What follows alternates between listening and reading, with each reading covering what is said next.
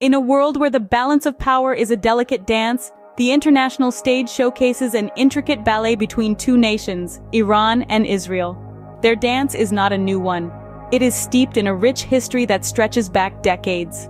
The roots of this conflict date back to the 20th century, marked by a series of political, religious and ideological disagreements that have further intensified over time.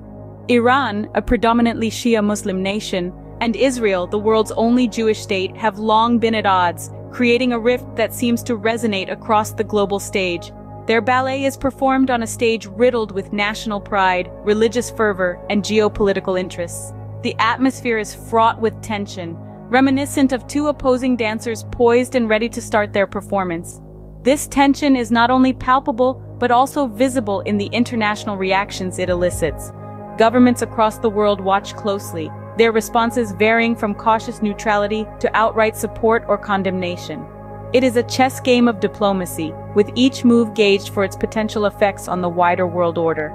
This fog of uncertainty hangs heavily in the air, a dense shroud that seems to envelop everything and everyone in its path. The stakes are incredibly high, the balance of power constantly teetering on the edge of a knife.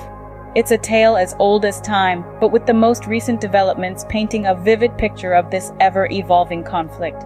So where do we stand now? Let's dive into the labyrinth of recent events that have shaped the current state of affairs.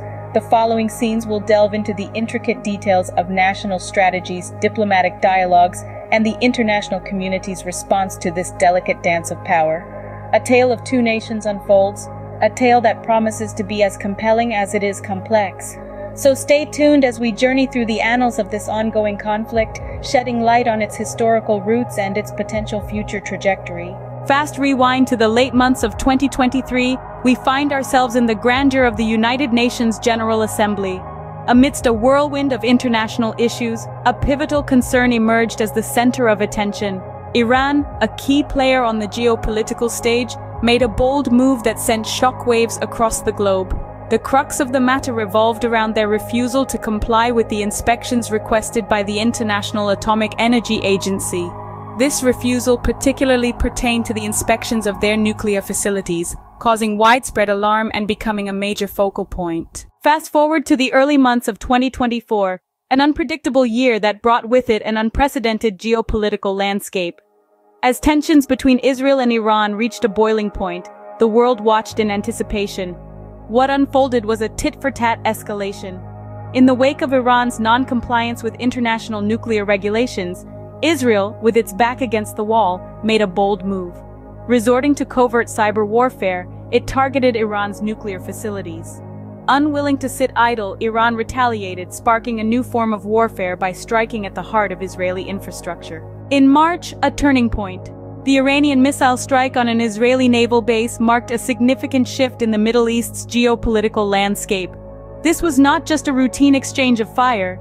Instead, it was a testament to the deep-seated tensions that had been simmering beneath the surface for years. This was a bold and unprecedented move by Iran, a calculated risk that signaled their readiness to engage in open combat. The world watched, breath held in anticipation, as this new development posed a serious threat to peace and stability. This was the first direct attack in this escalating conflict, and it sent shockwaves through the international community. Now, in mid-April, the world watches with bated breath. It's a tense time. The air is thick with anticipation as global forces are shifting, and the balance of power is precariously perched on the edge of chaos. The diplomatic forums are alive with discussion and debate, ceaselessly buzzing like a relentless swarm of bees. Statesmen and women, leaders in their respective fields, are convening in a flurry of hurried meetings, an intricate ballet of international diplomacy. The stakes are incredibly high. There's an undercurrent of fear, an urgency that is palpable. As each second ticks by, the international community finds itself teetering ever closer to the brink of all-out war.